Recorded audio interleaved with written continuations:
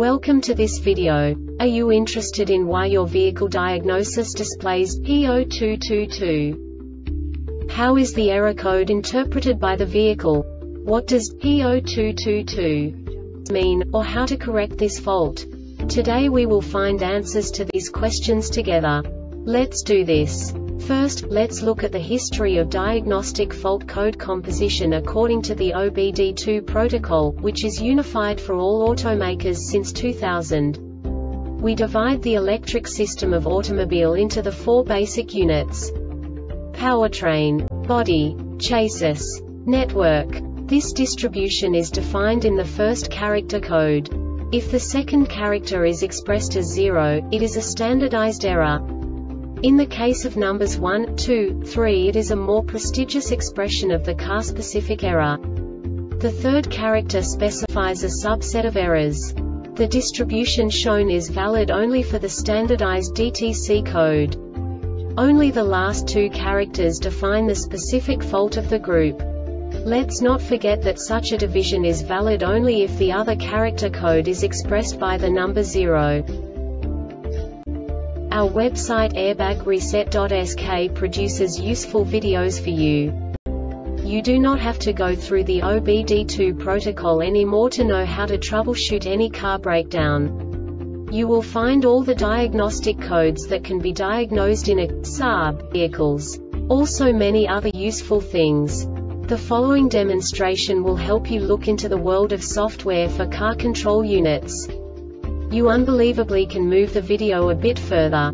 The error code is split into two bytes consisting of 16 bits. One bit is the basic unit that each computer works with. The bit has two logical states. 0, low level, 1, high level. By combining the first two bits, the basic character of the error code is expressed. The next two bits again determine the second character. The last bit styles of the first byte define the third character of the code. The second byte is composed of a combination of 8 bits. The first 4 bits determine the fourth character of the code. And the combination of the last 4 bits defines the fifth character. A single byte conceals 256 possible combinations.